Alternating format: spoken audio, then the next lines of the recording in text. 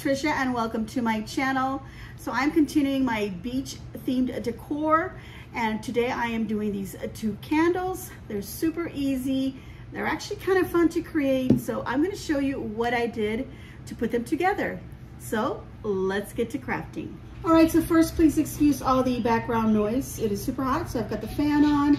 My birds are singing and there's a TV going on way in the background, but You'll be hearing that, but I'll try to get through this as quick as I can. So to make this craft, it's super easy. You're just gonna grab some candles and you can grab any candles that you wanna use, whether they're, you know, battery operated ones or if you wanna use the actual burning wick ones, that's up to you. I'm never gonna light these up. They're just gonna be decorations. So you might wanna keep that in mind as well if you're gonna be adding some decor to them. Anyway, I got mine at Hobby Lobby. They were $5.99 for both of them, so I thought that was a really good deal. All right, so to follow the beach-inspired theme that I'm gonna be using, I grabbed this scrap paper. It is sand, you can tell on there by looking at the paper. Uh, of course, you could use whatever you want. You could use burlap or some other fabric or any other paper, whatever your uh, decor, or you could just leave this out. Maybe even choose to use some tissue paper instead of scrapbook paper. So I just want some of it for about this part, not even half. I just want a little bit, maybe a third of it. So I need to cut some strips, but I was thinking that I would just kind of like, just cut them off kind of, you know, roughly like that. You know, kind of like in a little bit of a curve look to give it a sand dune look. And then I'll use the straight edge along the bottom like that. That looks pretty good. And I'll just trim it uh, once I get where, you know, they'll meet. But for now, I'm gonna go ahead and start gluing this on and whatever I do to one candle, I'm gonna do to the other. All right, so to glue it on, I'm gonna be using Mod Podge and I am using a gloss. You don't have to use a gloss, but I kind of want everything to have that little bit of a glossy finish and I'm gonna be using some glitter, so I'll use this one. Okay, so I'm gonna start by just smearing on or brushing on some of that Mod Podge. Let's use this end here. And I'm gonna align it along the bottom, the straight edge. There we go, like that. And let me get that little edge in here. Get that sealed down really well. I am gonna go ahead and put Mod Podge on the top. So for now, I'm just gonna put it on the bottom. I just did that little edge just to get that down. And this is super easy best to add it as you go rather than, you know, putting it all the way around because then you're gonna get your fingers all over. Even though, I mean, you're still gonna get Mod Podge on your fingers. But, you know, this is a little bit less messy. Okay, let's do that.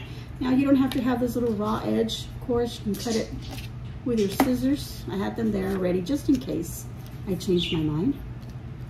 I wanna make sure that I get all up on the edges so get it a little bit higher than what you think.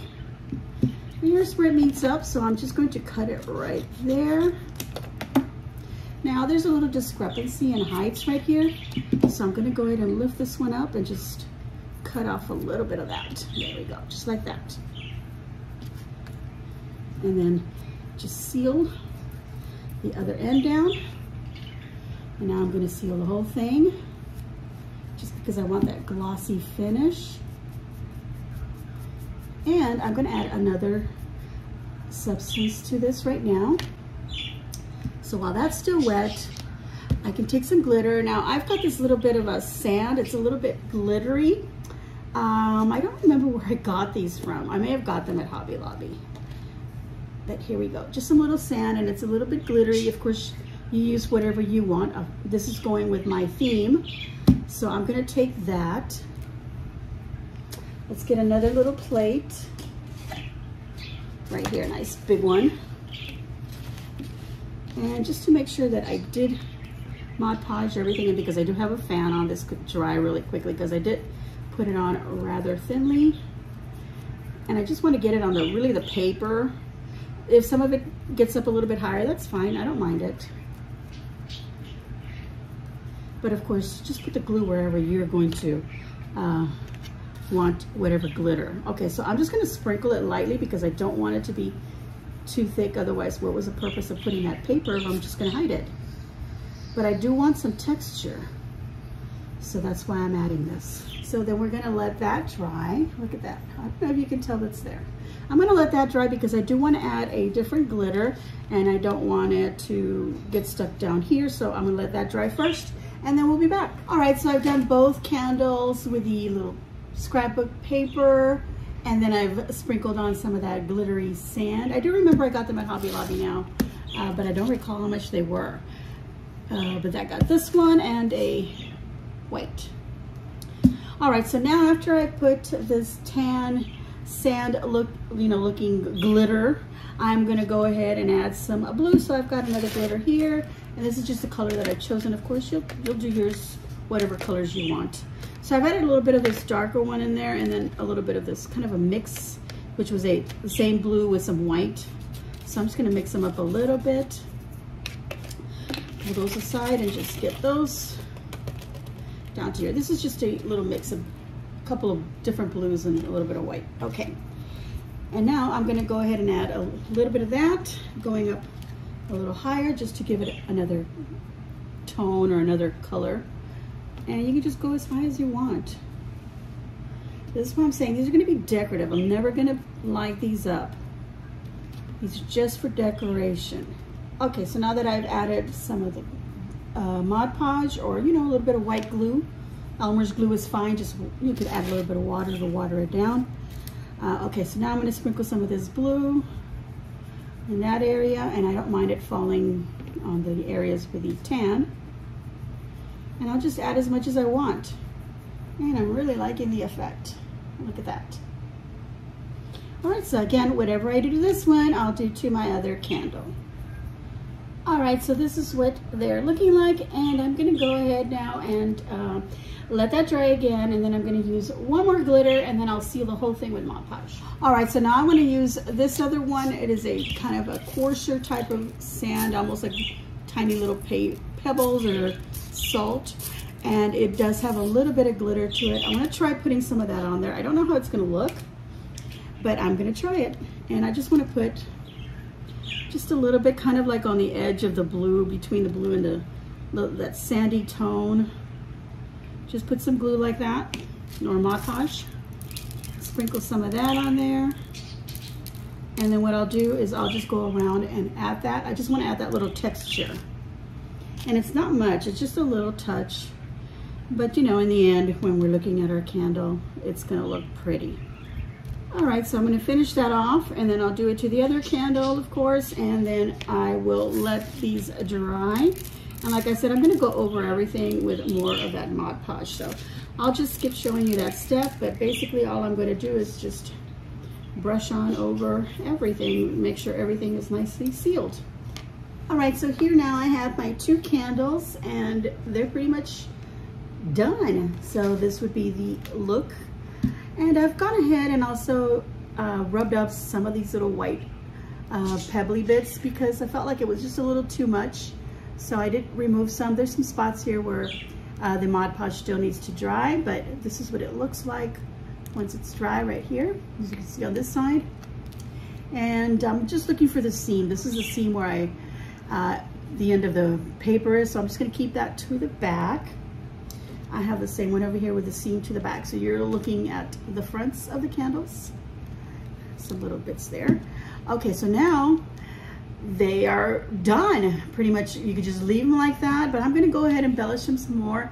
And so I've got some of this um, twine that I want to wrap around and then kind of tie it up in the front. And then I bought this uh, package also at Hobby Lobby of these um, shells, little tiny little little shells. So I'm gonna use some of these to hang off the rope. So I don't need that much, but I mean, I love the uh, packaging or the amount in the packaging to use for some other crafts. So I went ahead and I purchased this and I'm just gonna dump out a few just so I can see what I have in here and then choose from that. And this is what the little shells look like. All right, so let me move one of these aside because again, whatever I do to one of these, I will do to the other. Okay, so I just want to take my rope. Again, this is my seam of my paper, so I want that in the back. And I'm just gonna leave a length of uh, rope. I don't know how much, so but I'm gonna go ahead and leave about I don't know, eight inches uh, free like that. And I'm just gonna place this right here and then bring this around. And I wanna go under the uh, little white pebbles, but you know, place it wherever you like on your candle. So I'm just wrapping around, making sure I'm capturing this, this one here under the rope, and I did. And just wrap it however many times, and I think that's good enough. So I'm gonna leave another length about that long. I can trim it off later.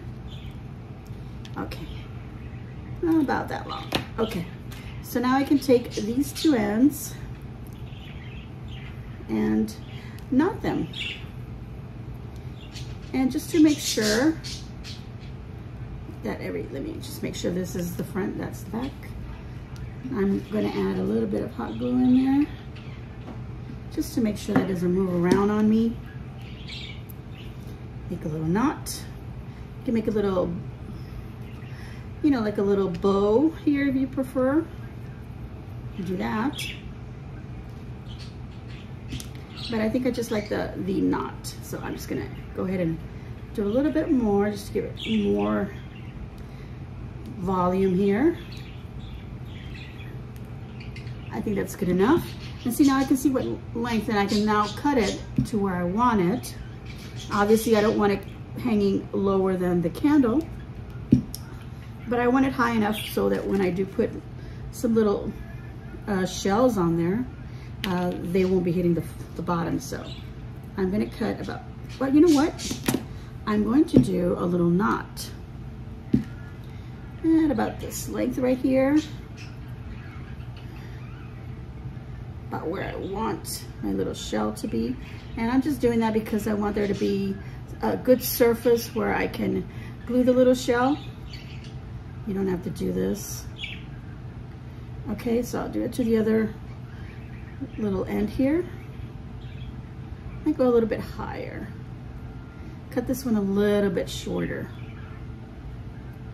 Obviously, if you wrap this, if you choose a different design and you decide to put your rope or whatever, you're using a ribbon or rope or even some yarn or um, what is macrame uh, uh, yarn is what I'm thinking. If you choose to use that, uh, your little strings can be even longer. Okay, and you can hang off either shells or a little bead or whatever you want. Okay, so now I can go ahead and trim this and I kind of want to just dishevel the little ends here, open them up like that. See that? That looks really cute if you do that. Okay, let's do it to the other one. Just untwist here and then just spread up or spread open like that. Like this one as well. That looks really nice, cute. All right, so now we can go ahead and glue some little shells to that. And I like the one that I had, and I don't know where that went. Oh, here it is, it's right here off the side. I like that one. So just a little glue on the back. And I'm just using my hot glue gun and glue it right where the little knot is. Or, I know, above it or right on top of it, wherever you can place it. Just like that. And one more over here, let's see. Let's do one of these long ones. glue there. And get it on there. Let's see, let me see where this wants to face forward. There we go. Ta-da! Right, so now I'm just gonna repeat the same process to this other candle. All right, everyone, so there we go. I've got my beach themed candles. I think they look really pretty. I love the colors. This is what they look like now, completely done. And they were super easy to create. It doesn't take very many things to put them together. Of course, you choose what you want to put on there and what you don't and what theme you want to do. I just thought this was really cute and uh, with some inexpensive candles, some inexpensive supplies, and with some Mod Podge. And of course, these are gonna be decorative candles. I can't stress that enough. I would not light these up. I'm don't know what would happen if the uh, maybe the candle got down low enough to the uh, glitter or the rope here. So I'm going to keep these completely decorative. So just keep that in mind if you want to do something like this. All right, so these are done. I love them. So I'm going to give myself a big old thumbs up and I hope that you too will give me a big old thumbs up.